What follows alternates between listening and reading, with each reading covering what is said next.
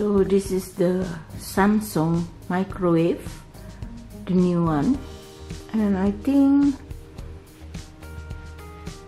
just this year Samsung make the, the microwave. So it's easy but without further ado I will show you how to set the clock because that's very confusing if you knew.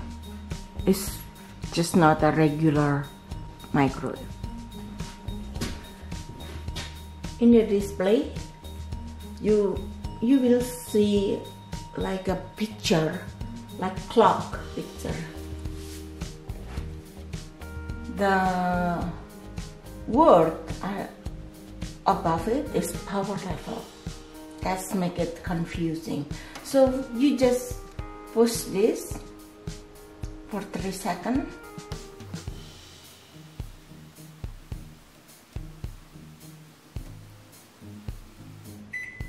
then beep. We see the clock.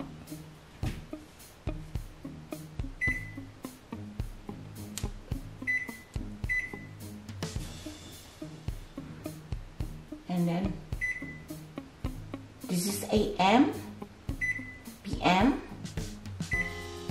so you choose that after you know it's PM or AM you choose.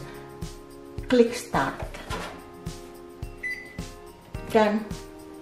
That's easy only confusing. I hope this is this video a short one is helpful.